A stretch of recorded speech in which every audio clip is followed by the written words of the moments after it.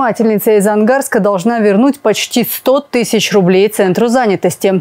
Эти деньги бизнесвумен получила на открытие собственного дела. Одним из условий безвозмездной помощи был отчет о затраченных средствах. Однако после того, как женщина получила необходимую сумму, она перестала выходить на связь. Суд исходил из того, что индивидуальный предприниматель не выполнил обязательства, необоснованно получил денежные средства, в связи с чем на стороне ответчика возникло неосновательное обогащение.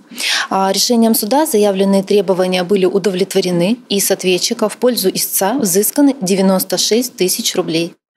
За прошлый год материальную помощь из бюджета получили три индивидуальных предпринимателя. На очереди в этом году еще четыре бизнесмена.